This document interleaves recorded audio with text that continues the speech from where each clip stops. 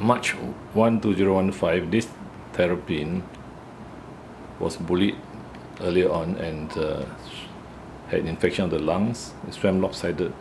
But now you can see it's much uh,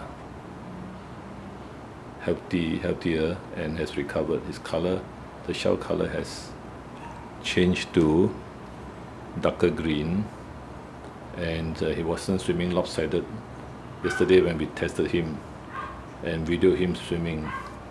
His appetite is excellent. He can eat five shrimps in a row and uh, he eats the pellets as well. So he should be going home today. You see the color of the shell is darker green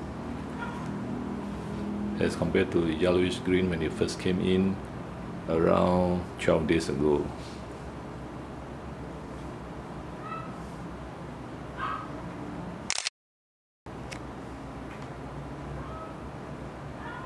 No more breathing very fast, no more sniffling.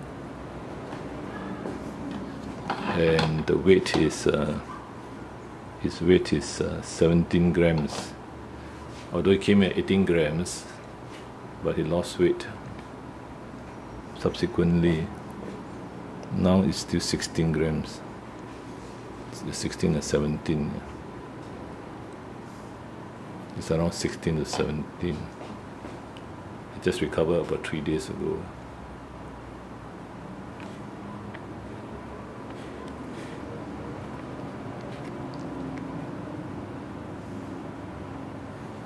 February, uh, March 1, 2015, Toa Payoh Vets.